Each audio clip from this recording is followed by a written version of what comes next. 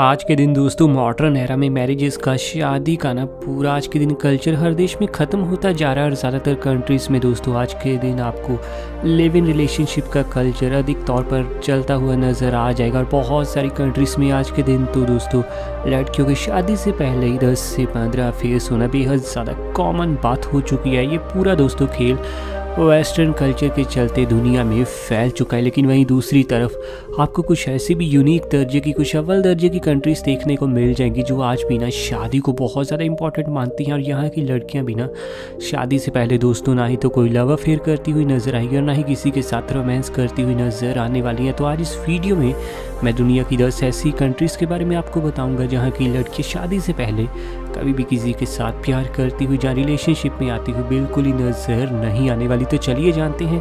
दुनिया की दस ऐसी ही कमाल कंट्रीज़ के बारे में वीडियो बेहद इंटरेस्टिंग कमाल होने वाली है तो अभी से कोल्ड ड्रिंक पॉपकॉर्न सब कुछ तैयार रखो।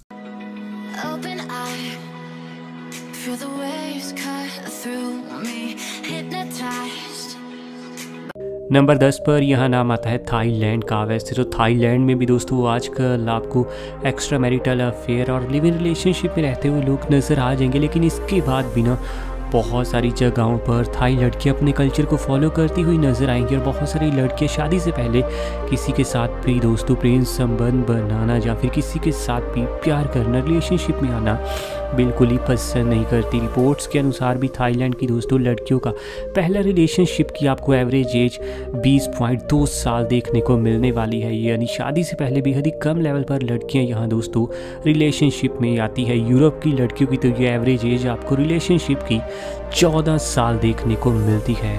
आगे बढ़ते हुए चर्चा दोस्तों, अगर हम नंबर नौ के देश की करें तो यहाँ पर नाम आता है जापान का। जापानी लड़की आज के दिन भले ही मॉडर्न युग में आ चुकी हो, जापान बेहद ही मॉडर्न देश क्यों ना बन गया हो, लेकिन आज के दिन भी जापान के अधिकतम एरियाज़ में लोग अपने कल्चर को बिल्कुल नहीं भूले और ये देश भी अपने कल्चर के लिए पूरी दुनिया में बड़ा मशहूर है। जापान के कल्चर के अनुसार भी दोस्तों, शादी को आज भी बहुत ज़्यादा इंपॉर्टेंट समझा जाता है और लिव इन रिलेशनशिप में रहना और एक्स्ट्रा मैरिटल अफेयर करने को जापानी लोग वेस्टर्नस का कल्चर मानते हैं।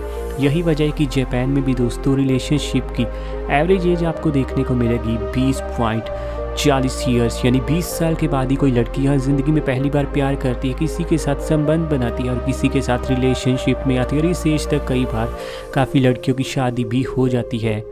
आगे बढ़ते हुए चर्चा अगर दोस्तों हम नंबर आठ के देश की करें तो नाम आता है नाइजीरिया का। इस देश की अधिकतम लड़कियों की दोस्तों शादी होने के बाद ही उन्हें प्यार होता है। शादी के बाद ही लड़कियाँ यहाँ रिलेशनशिप बनाती हैं।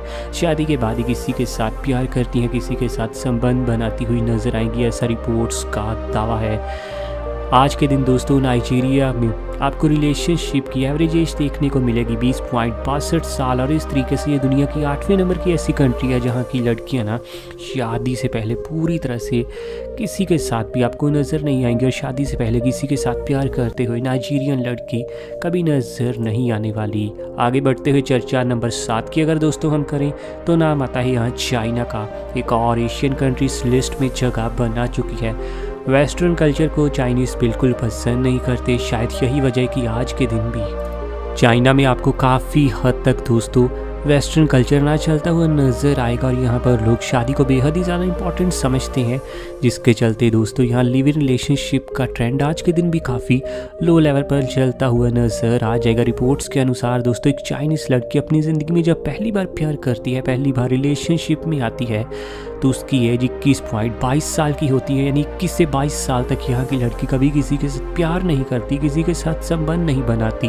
और इस तरीके से ये भी उन देशों में गिना जाता है जहाँ की अधिकतम लड़कियाँ शादी के बाद ही पहली बार दोस्तों लव करती हुई नज़र आएँगी। आगे बढ़ते हुए चर्चा, अगर हम नंबर छः की करें तो नाम आता है ताइवान का। इस एशियन कंट्री में दोस्तों, आज के दिन भले ही लोग बेहद ही ज़्यादा मॉडर्न हो चुके हों, लेकिन अपने रिचुअल्स और कल्चर को ना ताइवान के लोग भी बिल्कुल भूलते हुए नज़र नहीं आते और शादी को यहाँ बहुत ज़्यादा अहमियत दी जाती है। और ये भी देखा जाता है कि कोई लड़की अगर शादी से पहले किसी के साथ संबंध बनाए या किसी के साथ प्यार करे तो ये बेहद ही ज़्यादा ख़राब बात भी मानी जाती है। यही वजह है कि यहाँ की एक लड़की पहली बार जब संबंध बनाती है या फिर रिलेशन रिलेशनशिप में आती है तो उसकी एज इक्कीस पॉइंट नब्बे साल के आसपास होती है, यानी बाईस साल के आसपास एक लड़की यहाँ पहली बार किसी के साथ प्यार करती है। और बहुत सारी लड़कियाँ तो दोस्तों अधिकतम तौर पर शादी के बाद ही यहाँ पहली बार संबंध बनाती हुई नज़र आने वाली हैं। आगे बढ़ते हुए नंबर पाँच की तरफ़ अगर हम बढ़े तो नाम आता है टर्की का। इस मुस्लिम कंट्री में दोस्तों महिलाओं के लिए ना लॉस बहुत स्ट्रिक्ट देखने को मिलेंगे। महिलाओं के लिए ये बेहद ही ज़्यादा खराब और शर्मनाक बात टर्की में मानी जाती है कि अगर वो शादी से पहले किसी के साथ संबंध बनाती हैं या फिर शादी से पहले किसी के साथ प्यार करती हैं, शायद यही वजह है कि आज के दिन दोस्तों टर्की देश का।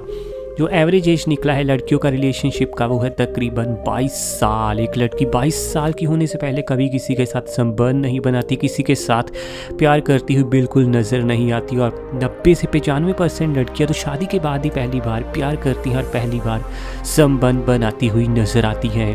नंबर चार पर नाम आता है दोस्तों, साउथ कोरिया का। इस एशियन कंट्री में भी आज के दिन भले ही टेक्नोलॉजी बहुत अव्वल दर्जे पर जा चुकी हो, लोग बेहद ही मॉडर्न हो, लेकिन शादी की अहमियत आज भी दोस्तों साउथ कोरिया में बहुत हाई लेवल पर आपको देखने को मिलेगी। यही तो वजह है कि एवरेज रिलेशनशिप की एज यहाँ बाईस पॉइंट दस साल देखने को मिलेगी। एक लड़की बाईस साल की होने से पहले यहाँ प्यार कर ले चांस बेहद ही ज़्यादा कम होते हैं और अधिकतम लड़कियाँ यहाँ शादी के बाद ही प्यार करती हुई लव करती हुई रिलेशनशिप में आती हुई नज़र आने वाली हैं। नंबर तीन पर नाम आता है दोस्तों, इंडोनेशिया का। एशिया का ये देश आज के दिन अपने कल्चर रिचुअल्स को बहुत ज़्यादा सीरियस लेता है। यहाँ पर यह बात बहुत ही ज़्यादा ख़राब मानी जाती है।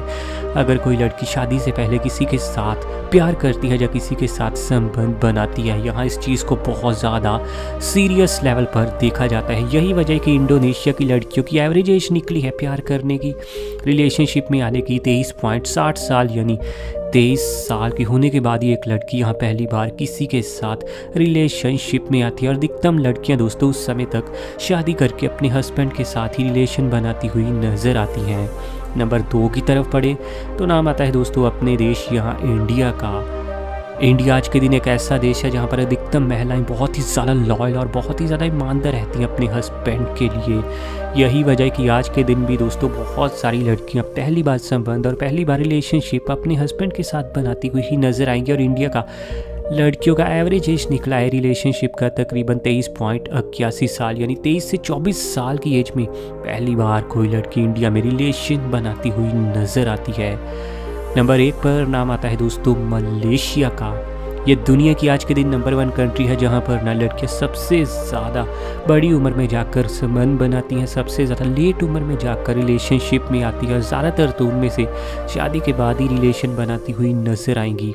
मलेशिया की एक लड़की तेईस पॉइंट अठानवे साल, यानी तकरीबन आप चौबीस साल मान लीजिए, चौबीस साल के होने के बाद ही रिलेशनशिप में आना पसंद करती हैं।